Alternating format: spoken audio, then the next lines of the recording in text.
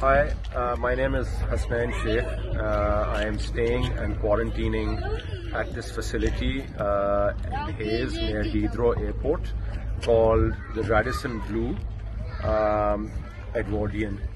And uh, basically, uh, there is a dire situation here at this point. You see people who are standing behind me. Uh, we have a list of about uh, 18 or 19 families uh, that uh, are facing the same predicament and situation here.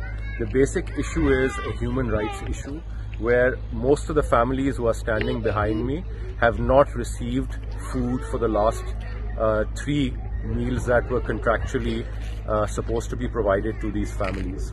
Uh, the food is not being delivered on time. On top of that, we are in the midst of uh, we are in the midst of Ramadan and people are fasting. So there are people here who have fasted without receiving any food uh, at all. The other issue is that uh, food is being given cold to little kids. There are people who are complaining of food poisoning who have eaten fish. Um, there are multiple other issues here. But the basic thing is that we are obligated to come and stay in this quarantine facility. We are now reaching out uh, to people who can listen to us and to make sure that people get what they deserve, which is a basic human necessity, food and water three times a day that is eatable by elders, by people my age, by young kids, uh, and this needs to be resolved immediately. We have received numerous promises from the hotel management. Uh, each promise has been broken until this point, and they are making yet uh, again uh, another promise at this point uh, to do the same. So this is our plea right now that needs to be heard.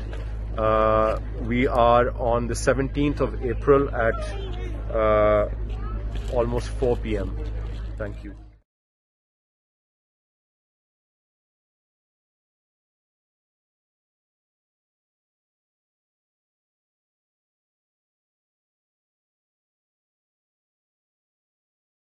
Uh, there is a dire situation here at this point. You see people who are standing behind me. Uh, we have a list of about uh, 18 or 19 families uh, that uh, are facing the same predicament and situation here.